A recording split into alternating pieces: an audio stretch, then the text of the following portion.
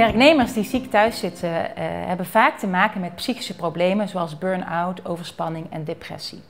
Helaas weten we nog onvoldoende over hoe we ziekteverzuim kunnen voorkomen en hoe we de begeleiding van werknemers die ziek zijn kunnen verbeteren.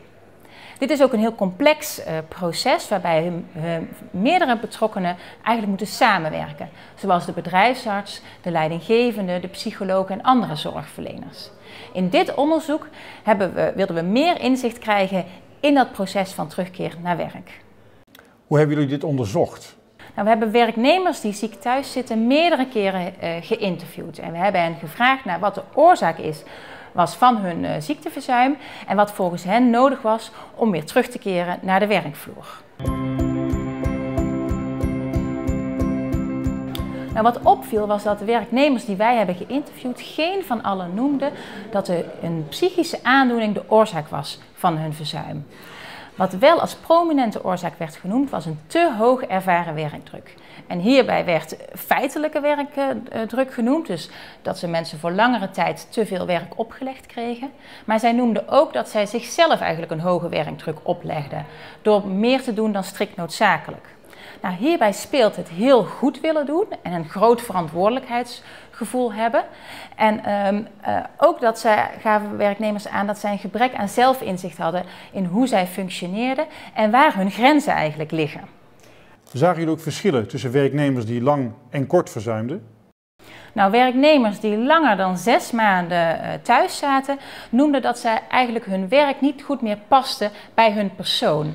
Dat kwam uh, bijvoorbeeld omdat zij uh, omdat hun werk veranderde en daardoor vonden zij de inhoud van hun werk niet meer leuk. En dit speelde mee in de oorzaak van het verzuim, maar het belemmerde eigenlijk ook de terugkeer naar het werk. Nou, het geeft aan dat we in, bij de reïntegratie van werknemers met psychische problemen ons veel meer moeten richten op werkgerelateerde aspecten naast het behandelen van een psychische aandoening. Daarnaast zouden reïntegratieprofessionals vooral aandacht moeten besteden aan het verbeteren van zelfinzicht van de werknemers en de werknemer ook leren om hun grenzen te bewaken in de werksituatie. Ook zouden reïntegratieprofessionals en leidinggevenden in gesprek moeten blijven met hun werknemer over waar hun interesses liggen en waar hun behoeft, wat hun behoeftes zijn. En tot slot uh, vinden wij dat er een, uh, meer aandacht zou moeten komen voor een goede match tussen iemands werk en iemands sterke kanten en uh, interesses. En niet alleen op het moment dat er sprake is van ziekteverzuim, maar daarvoor al om verzuim te kunnen voorkomen.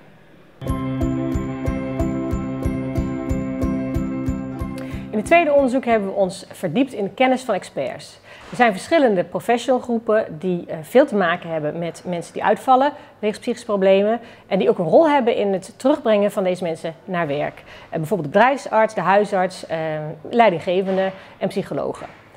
Um, nou, wij hebben gedacht, die mensen hebben specifieke kennis en ervaring. En de achterliggende gedachte van het onderzoek is ook, als je die nou eens combineert uh, en in kaart brengt, misschien krijgen we dan wel een vollediger beeld van wat er nodig is om mensen die uitvallen wegens psychische problemen uh, terug naar werk te begeleiden. Nou, de belangrijkste conclusie was dat deze vier groepen uh, professionals vrijwel exact dezelfde dingen noemden. Uh, en met name de rol van de leidinggevende als cruciaal belangrijk uh, sprong daaruit eigenlijk. Um, die bevinding, dat ze allemaal hetzelfde noemden, dat bevestigt ook wel dat dit de dingen zijn waar het om gaat. Die echt belangrijk zijn uh, bij een goede en snelle terugkeer naar werk van werknemers met psychische problemen. Tegelijkertijd is natuurlijk wel de vraag, hoe komt het nou dat al die professionals kennelijk weten hoe het moet en hoe ze het beste, wat er nodig is om het beste hun werknemers weer terug naar werk te begeleiden. En dat er in praktijk toch zoveel mensen langdurig thuis zitten uh, met psychische problemen. Het zou kunnen duiden op een implementatieprobleem. Hè, dus dat de, de, professionals wel weten hoe het moet, maar dat ze in de dagelijkse praktijk toch lastig vinden om dit ten uitvoer te brengen. En dat zouden we in toekomstig onderzoek moeten bekijken.